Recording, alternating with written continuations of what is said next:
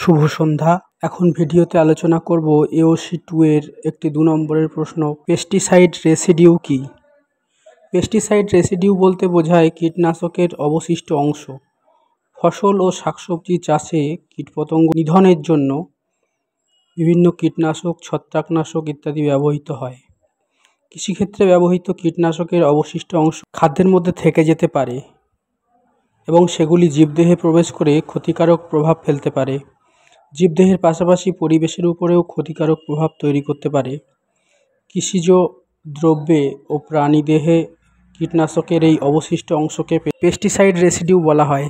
মাছ, মাংস, মুরগি থেকে শুরু করে উদ্ভিজ তেল, বাদাম এবং বিভিন্ন ফল ও শাকসবজির মধ্যে এই জাতীয় পেস্টিসাইড রেসিডিউ লক্ষ্য করা যায়। ধন্যবাদ।